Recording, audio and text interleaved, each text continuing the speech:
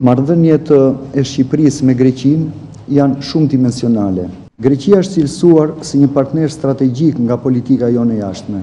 Mbas nënshkrimit dhe anullimit të Paktit për Delimitimin e Detit, në marrëdhëniet tona dypalëshe pati një ngrirje, mund themi. Kryesisht të imponuar nga pala greke, them kryesisht pasi edhe pala jonë pothuajse iu përshtat kësaj situate, në mungesë të argumentave për të çbllokuar gjendjen e krijuar.